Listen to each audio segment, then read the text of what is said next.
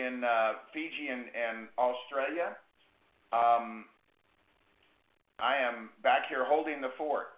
Uh, this is how you know when when life is so good that you don't once in a while you you pass up a free trip.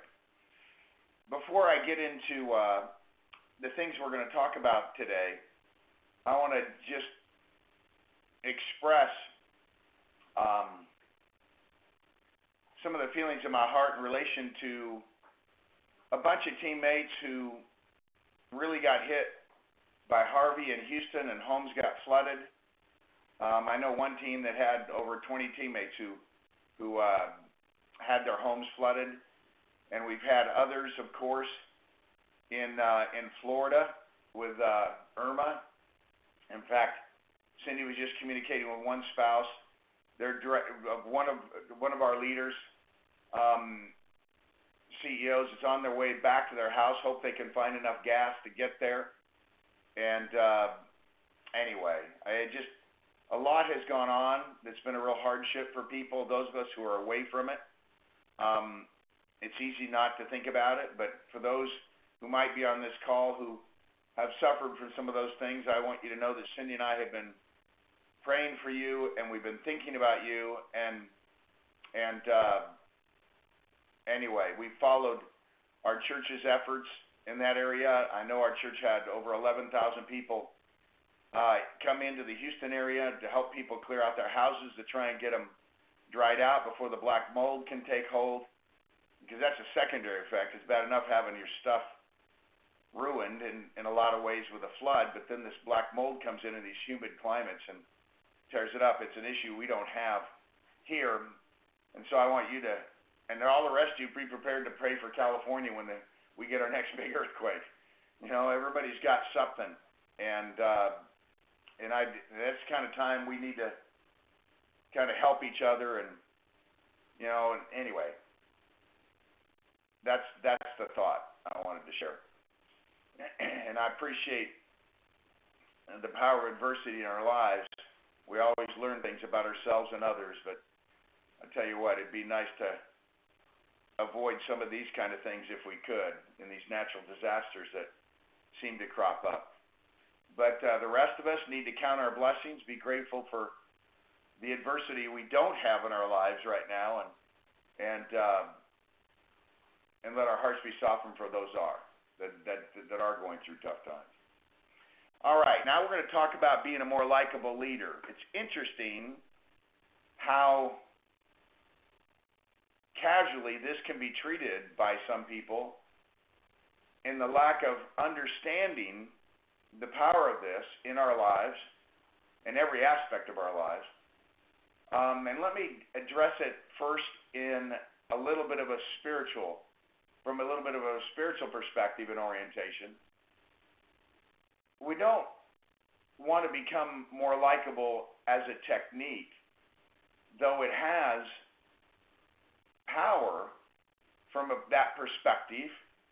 But the reality is, true likability, just like kindness and gratitude and generosity and thoughtfulness, all come from the heart. And they enter our heart because we begin to believe that they're important, that they're of great value.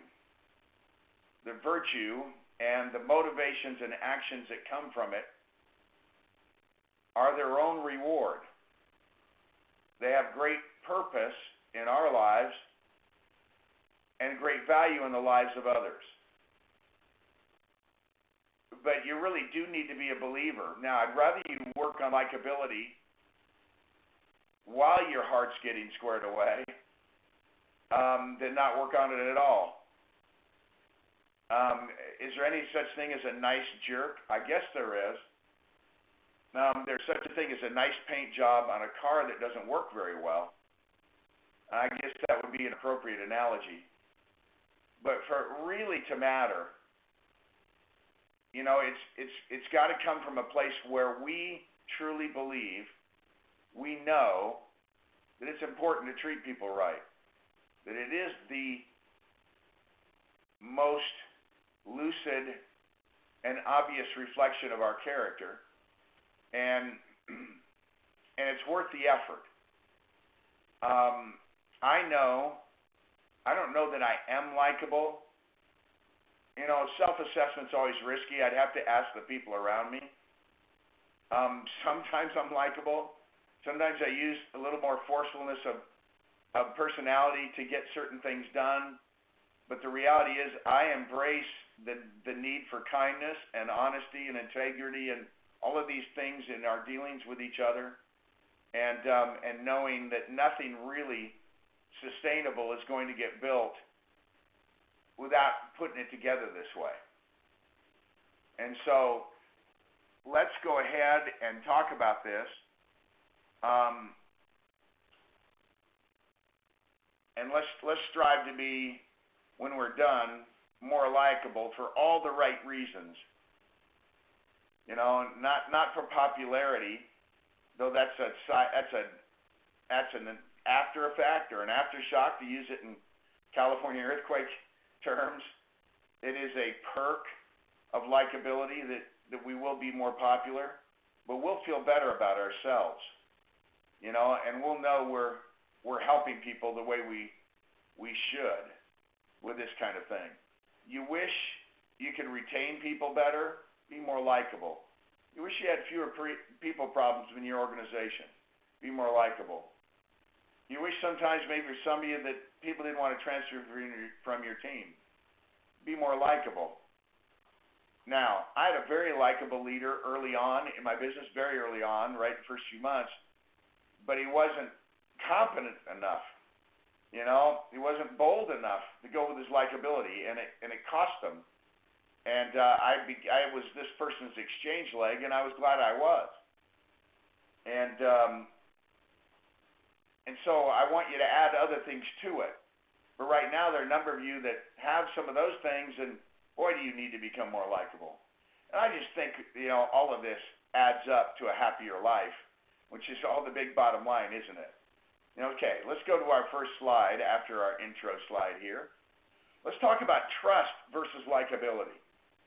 It's just a, a way of looking at this that I think is interesting that we can we can share together here.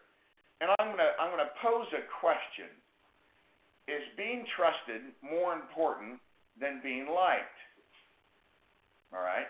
Is being trusted more important than being liked? We can think about that. Or another question, or is being liked more important than trust or being trusted? Now, I would certainly defend trust is a heck of a lot more important than being liked right? Like is not nowhere near as deep as trust, and trust is more prominent. But that doesn't mean you're choosing one or the other. And here's what I mean. The real question is, which one comes first? That's an interesting thought. Because liking somebody requires less effort and less commitment than trusting somebody, you know, I think it's probably true that if you are likable, that likability will lead to something else. Let's let's give this uh, a comparison or another analogy, and questions to ponder. It shows an actor there, right, wearing a sweater and says, "Hey girl, feel my sweater." Know what it's made of? Boyfriend material, which is just a sleazy line you better already know somebody before you use that one. and and uh, and we can all laugh at you. Um, I'm not sure that question would make you likable, but let's. But it gets us into the analogy. Is it trust that gets a woman to exchange phone numbers with a man? So let's let's let's talk about that. So you're somewhere and you see somebody you like. Now I'm going to say obviously that you're single. I'm a married man. I only see Cindy in this context. But let's say I'm single and I'm meeting people and I see someone that I think I'd like to talk to and get to know a little better. I'm interested. And I get up there and can, in that short period of time, can I really get somebody to trust me? No, what I can do is make a good first impression because the next question is I think the answer to the first one is trust that gets a woman to exchange phone numbers with a man. Not really. You know, trust is something, we'll talk more about it, that's earned over time. Is it trust that gets a potential prospect to want to meet with you and do business? And they don't know you, or they hardly know you at all. And so the reality is, in both of those scenarios, you're not really having trust as a major factor, right? What you hope to do is get them to the point they'll be interested enough and feel good enough about you. Now, this is more relating to the marketplace, but this has great application to your team also, right? And, and the relationships there, because people are going to be bringing all kinds of people to you over the weeks and months and years ahead, and you want to deliver for them as best you can. But the reality of this thing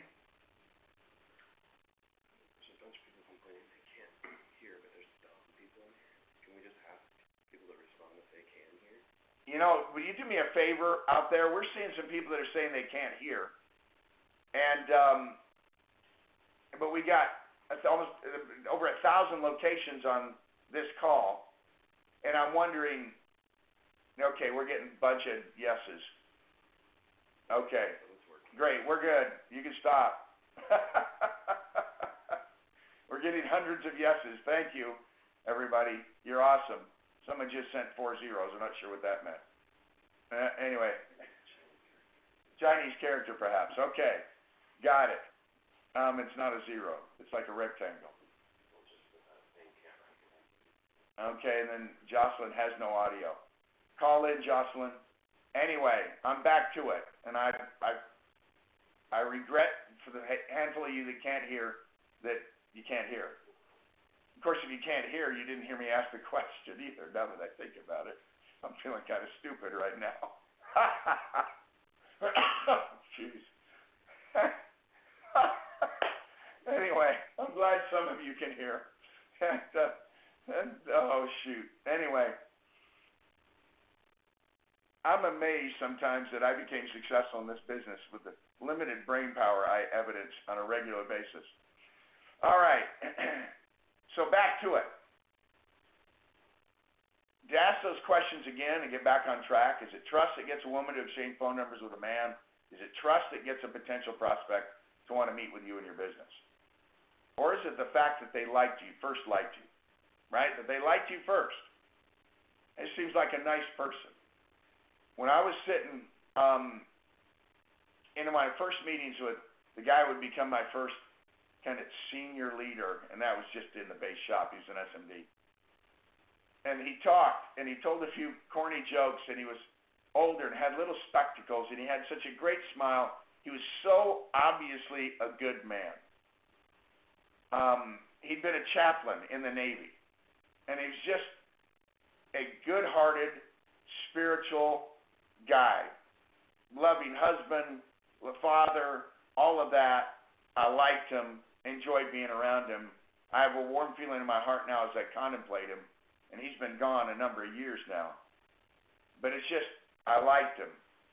It made it so much easier for me to take the next step, to move into closer association as I got to know him better, I trusted him and liked him. All right? Let's, let's talk a minute about the value of each. Part, the, there's a partnership between trust and likability. Look, the number one reason, in my opinion, Cindy and I have been successful is when ultimately we became very trustworthy, right, in our in our dealings with people, I think we were trustworthy right from the beginning, but I became more and more convinced of the virtue of trust, of integrity, of doing what's right, of treating people right, no matter it was going to cost me money, whatever the circumstances were, trust became a huge deal. I, I wasn't as convinced about likability early on. You know, I've been raised right, so I understood the value of honesty and integrity but the likability part, I was a little too sarcastic, a little too biting with, you know, in terms of the things I would say. And um, and this is one of the reasons I'm talking about this because I know there are a bunch of you out there that have the same thing. But as I mentioned, trust takes time to develop. And what likability does, it gives you the time needed to earn that trust.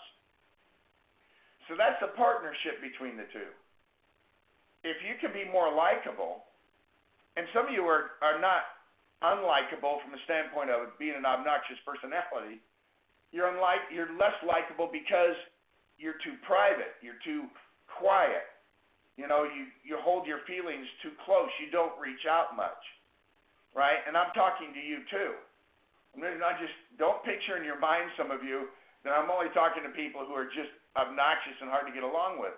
There are a lot of wonderful people who really need to improve their likability index, if there was such a thing, right? And you need to increase the chances that people are going to respond to you in a positive way. If you've ever gone into a store, you know, or ever gone onto a car lot, that's probably a good example. And I remember going into, and I'll give an example. I went into a, Cindy and I went into a furniture store. We bought a new home. We wanted to furnish it. And we're in the store, and one of the things I look for is somebody I like. I want to, I want to give my business to somebody I like. And I, and and somebody breezed by and just their attitude, and if you need help, said, no, we're just looking. And we went on, and, and then we bumped into a guy, and we started talking to him. He didn't even act like he worked there. You know, we ended up in a conversation like we do with people, and we're talking about family and all that stuff. And, and I said, what are you here for? He said, well, I work here. I said, well, shoot. Then, no, then you're the guy. You know, I, I want you to help us. And we bought $60,000 worth of furniture from the guy and he took a day off when it was delivered. You know, it, it wasn't an IKEA. We weren't putting it all together, but there's some things we had to put together. Help. And he was there underneath our dining room table, you know, with a wrench and a screwdriver and stuff, and helping put stuff together, and took a day off to do it. That's the kind of guy he was. You know, and and that likability is what got it earned, caused him to get our business. Now, I, and then we got to know him better and met his wife and and the trust thing kicked in. And so, I'm probably taking too long on some of this, but this is it's such a valuable thing, and it can be see, it can seem like such a little thing, maybe not worthy of time and attention and effort on your part. And I'm telling you, you're wrong. It really is worth it. It's not the most important thing. Trust and strength of character are the most important thing. But I want you, it's kind of like making a cake and not putting the icing on. Likability is, is the icing. And you all know you like the icing, usually as much or better than the cake. If I see a cake without icing, I'm not interested. What can I tell you? And so, as we look at this, and here's a good way of saying it one takes time, and the other makes time. Now, I've got to do a footnote in this and should have done at the beginning. You know, a lot of this I drew from my interaction with John Shin. John Shin had given a great talk at one of our CEO challenges about this subject. And I grabbed it and tweaked it a little bit, but I've always appreciated John for focusing me in a clear way on the power of this anyway, he's off off in uh, on the other side of the world right now from us. But uh, I appreciate John Shin and his wife and his family and his team. All right, I'm done. So, but that's a good line. Trust takes time. Likability makes time with people until you have a chance to have the time necessary to develop the trust. and so let's discuss what we'll call what I'll call the likability factor. And I've already alluded to this. Think about someone now. I, I just did and used an example of that guy in the furniture store. Think about someone you've done business with that really impressed you. Now, okay, you got somebody in mind? Now I'll ask a question about that person. What is it about that person that made you want to know more? Know more from them, know more about who they were, know more about what they did, how they did it, or knew wanted to know more about whatever products they were representing. You know, it's interesting. I was in uh, in a store, probably a Lowe's or something, and there were guys with a display of solar. They were selling solar, and and I have houses with this tile roof, and and it's really tricky putting solar on. And you know, anyway, I just didn't think this particular house we were in at the time was going to work. And in fact, at that time and place, was a few years ago, it didn't. But I, I went with them, and they pulled up the house on on Google Earth, and they were looking at the roof, and they go, "No, you're right." But they were they were two really nice guys, and we ended up talking about life and business and these things and where they were headed, and they were in school at the same time, and you know, and I really was impressed with how likable and straightforward and honest seeming they were. Now, I didn't know that they were honest. That would have taken time to know. But I, I, it made me wish I could buy solar from them. You know, it's, you know, that's it. You know, these things are a big deal. And, and so let's ponder this process a little more. When I ask the question again, what is it about that person that made you want to know more? Here's some thoughts to consider. Was it because you knew instantly, almost magically, that you could trust that person? Mm, probably not. Was it their knowledge about the product? Well, maybe. That didn't hurt. That might get you to believe they're competent, but it wouldn't get you to like them. I meant people that know their stuff, that uh, whose company I don't enjoy. Or maybe was it their smile or attitude? And more importantly, was it maybe the way that person made you feel? You see, smile and attitude and the way it makes other people feel about you and about themselves is called being likable. Being likable is a big deal because people don't know instantly, almost magically, that they can trust you. And if they want to know you're competent and know your stuff about the product, but these they'll even forgive you don't know everything if you have if you have a pleasing personality, right? The right attitude. You make people feel good. You they they like you. I'd love to have you as a neighbor, a friend. If you're young, they may may like you to date their daughter. That would be a big step, by the way. The trust one is going to be more important than likability on that one. Speaking as a father and a grandfather. Anyway, so now we're going to shift to something I mentioned earlier, the likability index. Again, if there were such a thing. You know, so the first key to success in any kind of a sales process, and recruiting is a sales process, is to have a very high likability index. You know, and you want that needle moving toward the right as you face the dial, old fashioned dial. If it's a 1 to 10, you want it up there in the, in the 8 and 7.5, 8, 9 category. And this is something that is a must to work on if you're in the people business. You know, and besides that, it's worth working on because it makes life more fun. It makes talking to the server at the table more fun. You being likable causes them to respond more likably. you know, is that a word too? And uh, and this is just you just interact with people differently, and they like you. They look forward to seeing you again. You know, Likability is a big deal. And so we want your index in the red zone, right? Now, again to reemphasize, solution. In order to build trust, work in your likability. And so here we go.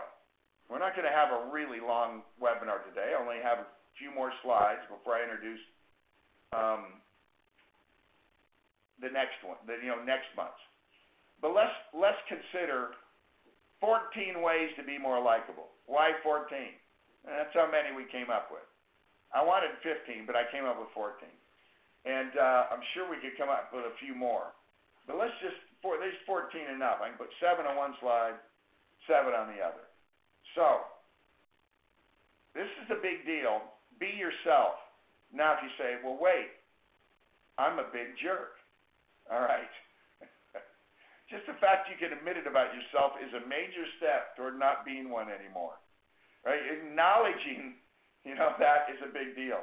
But what I'm saying is, relax. you're you're looking to become your best self. But if you're trying to fake it and you're uncomfortable, it's awkward, everybody knows. I want you to improve your likability by degree.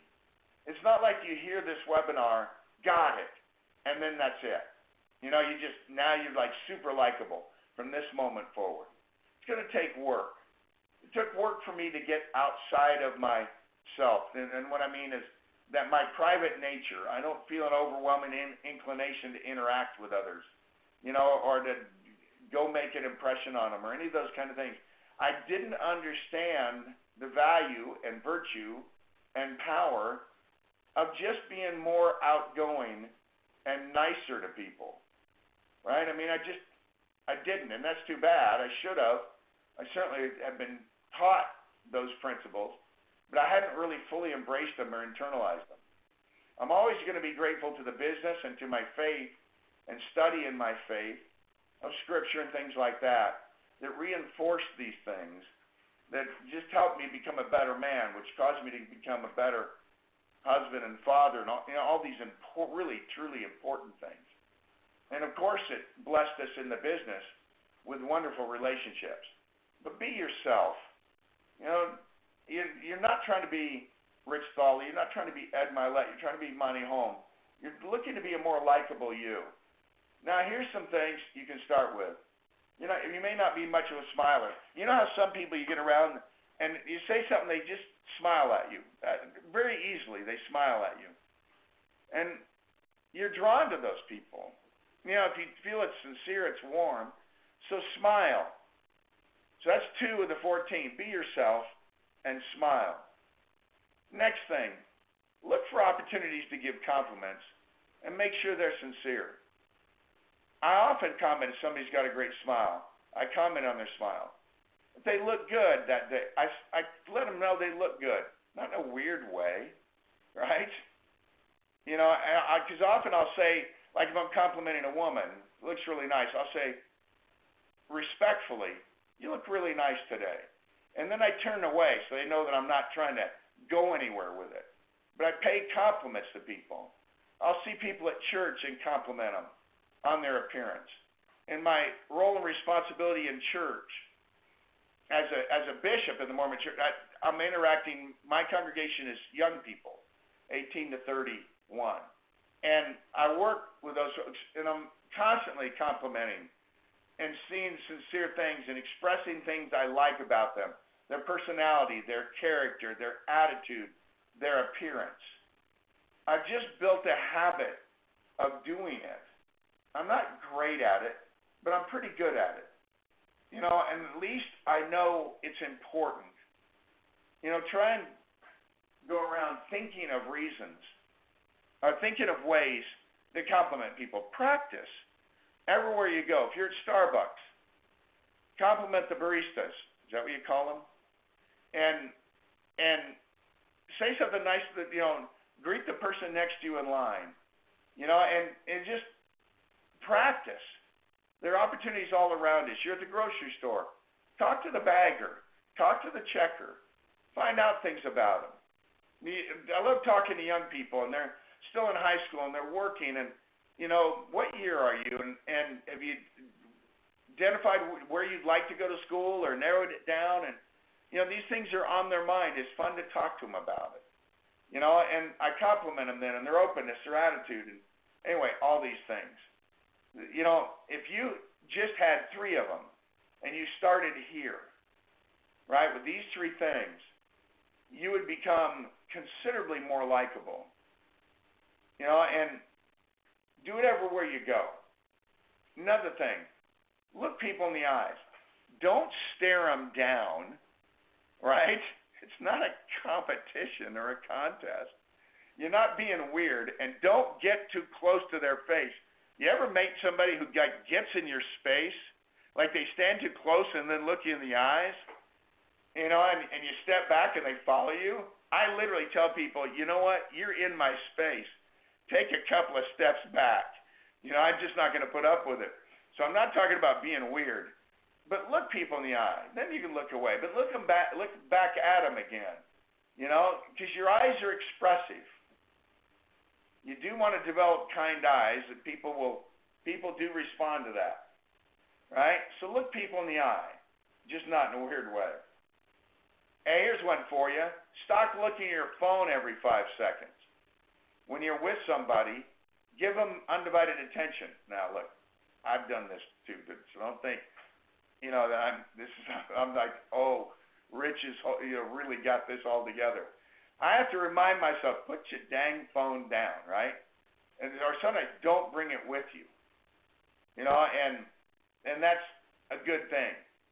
It allows you to connect more with people, right? In in the way that we're talking about. You're not likable if you if you don't give somebody attention. You're just saying you're not important. Like whoever's trying to make contact with me or send me some some message or email is more important than you are, right?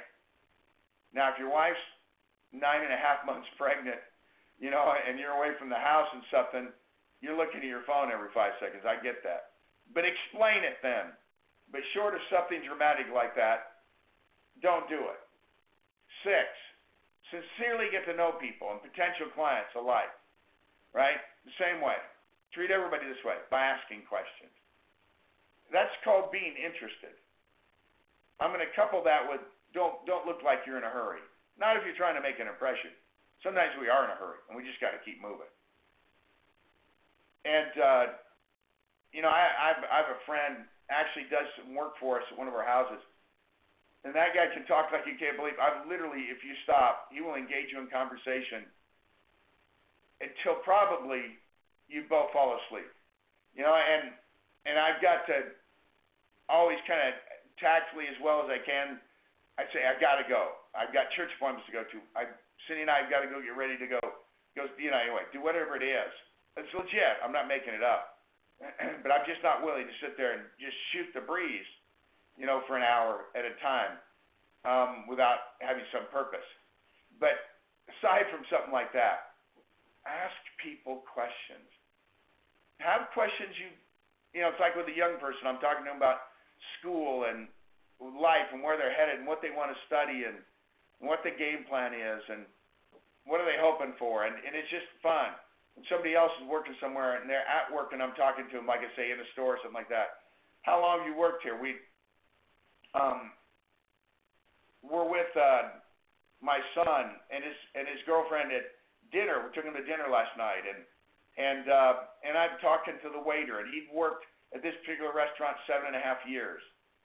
You know, and you know, and I talked to him about what he did before that, and and he was a good guy. He was likable, but we were likable too, which got us better service. And I remember as we were getting up, I looked around because I just like to make eye contact, and he was looking, and I turned my head, and there he was, and we both waved at each other. When we see each other the next time, and we'll, we'll go to that restaurant fairly regularly, and I see that guy, we'll greet each other. We'll recognize each other because of the connection we made. Asking questions about them, their life, all that kind of stuff. Right? And so be yourself, smile, give sincere compliments, look for opportunities, right? Look people in the eyes. Don't be looking at your phone all the time, acting distracted. Sincerely get to know people. I love sitting at a kitchen table with somebody, asking them how they met, things about their children, things about their own families you how many siblings, you know, where do their folks live? What do they do? You know, how, you know, of course, all these other things. It's just, guess what? I'm likable now. You know, and I certainly I like the positive impact that it has, but I like being likable for likable's sake. Like kindness, kindness doesn't need to be an act. You know, and again, coming from the heart. All right, let's go through the other seven things. so here we go. 14 ways continued. Number eight, find areas of agreement. Being constantly argumentative is very annoying. Correcting people. You know what? You want to be likable? Don't always strive to be right, to be the person that's right. You know, and you know, and hey, I have trouble with that. Like I like to be right, so I get it.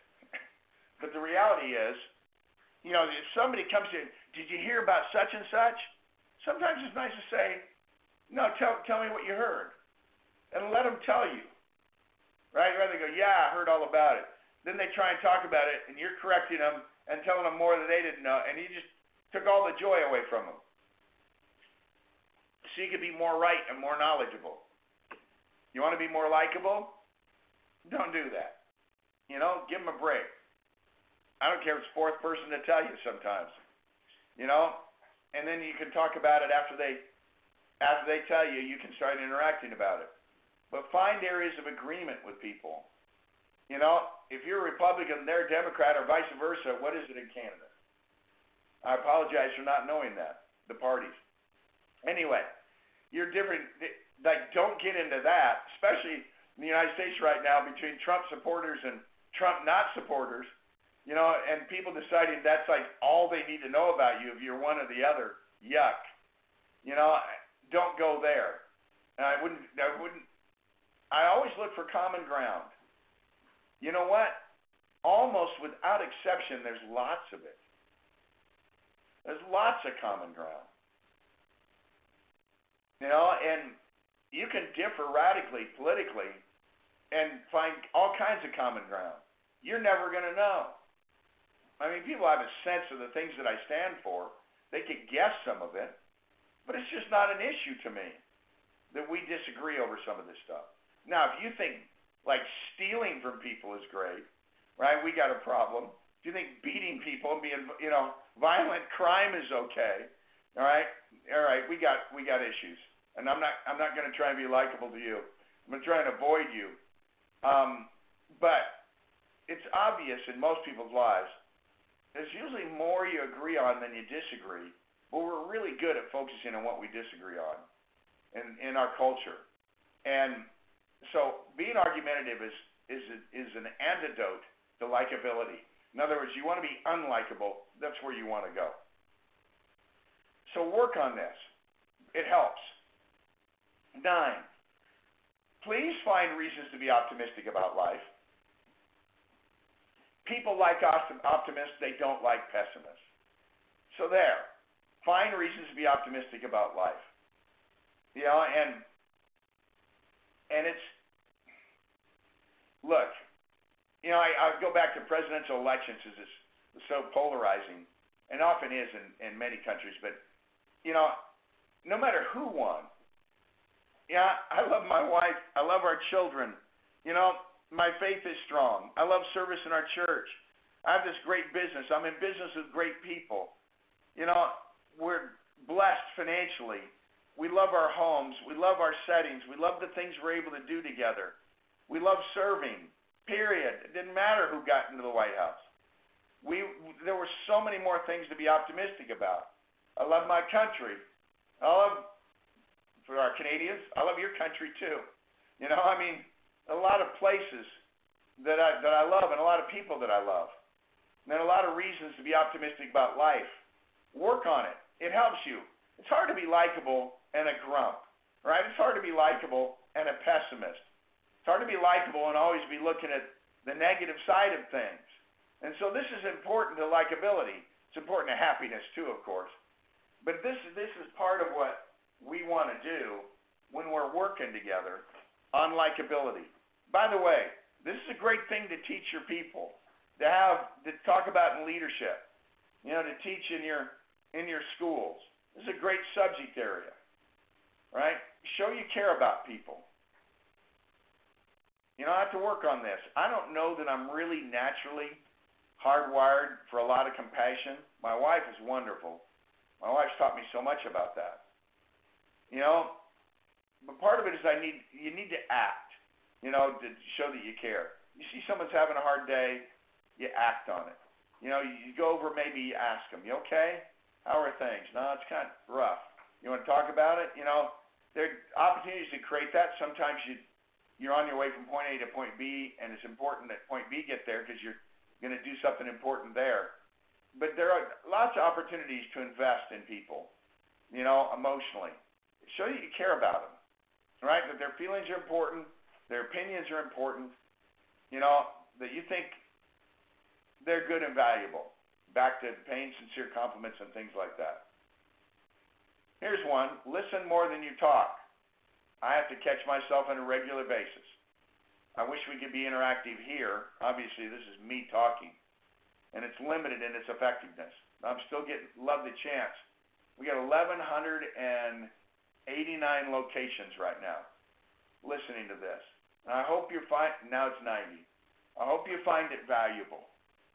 You know, and anyway, I appreciate it. And it's good to go. Yeah. So, eight is find areas of agreement. Being constantly argumentative is annoying. Nine, find reasons to be optimistic about life. Ten, show that you care. Eleven, listen more than you talk. Twelve, this one one I wouldn't have thought of. I actually got this from John. Shake hands with two hands once in a while. I and I and I thought about that. I, I could actually think of people who sometimes shake my hand with both hands. And it's it's always been a I felt it was a gesture of respect. You know, of adding warmth to their greeting. You could take this one or leave it. Right? I don't think it's as important as looking them in the eye, you know, and and that kind of thing and compliments and things of that nature. But it can be a positive thing, shaking hands with two hands. Not in a subservient way. But there it is.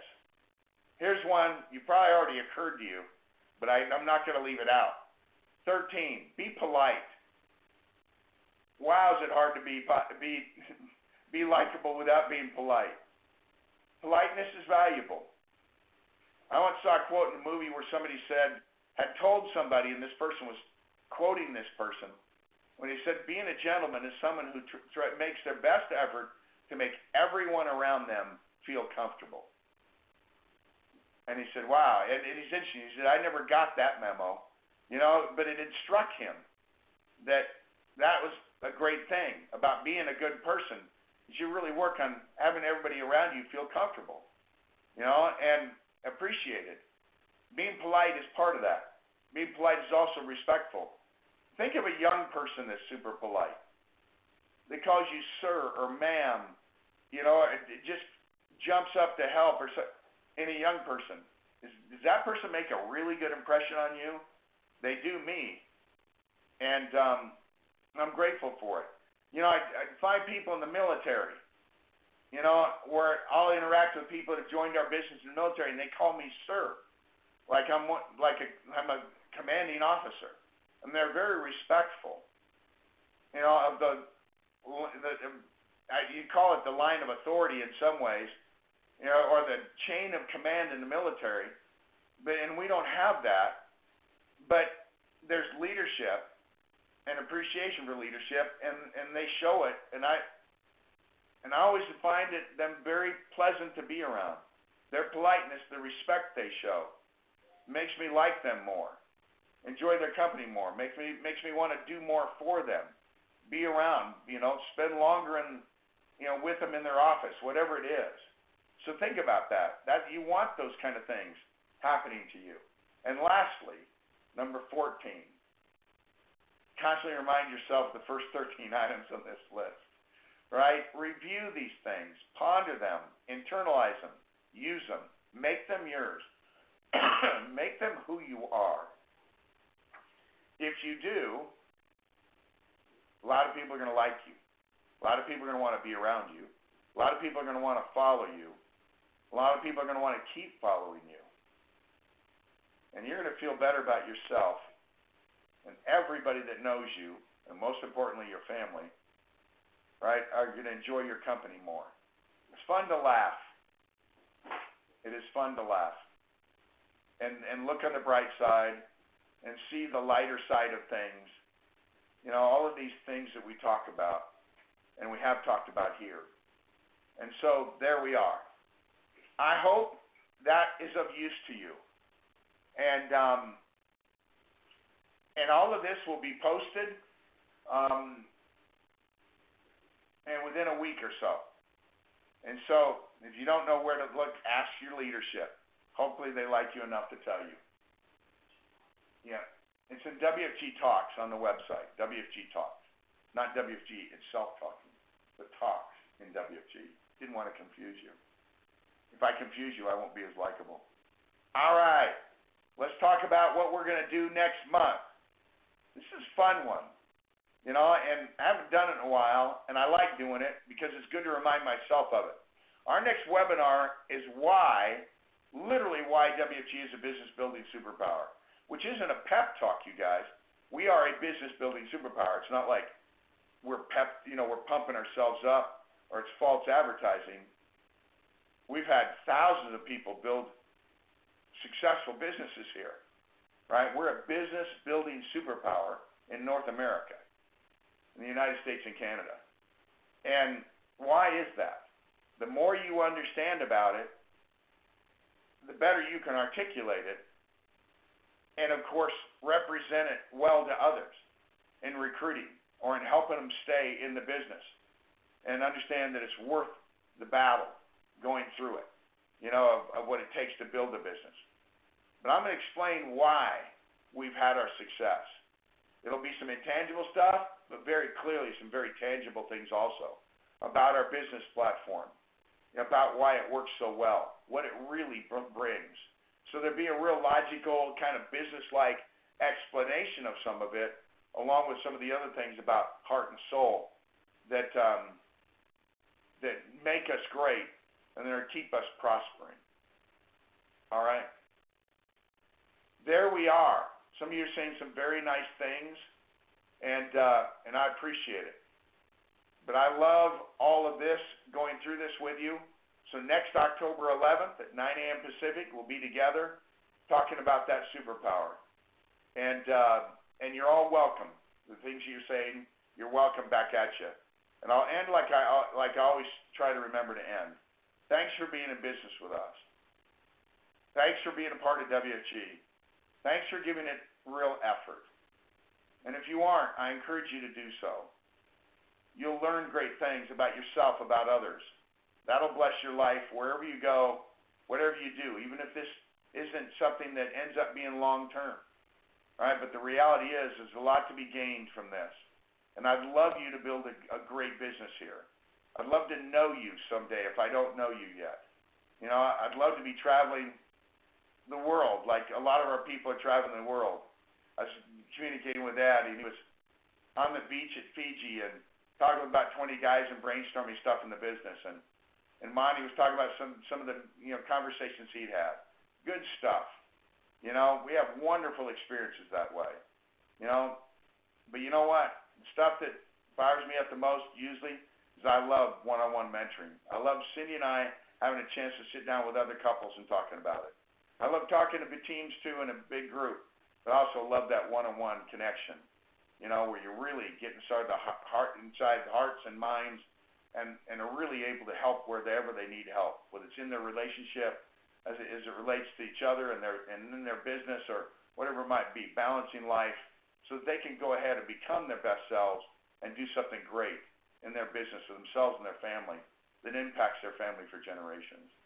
That's what we are fortunate enough to have happen for us, and we are determined to spend the rest of our lives helping all of you who want that kind of help do the same thing.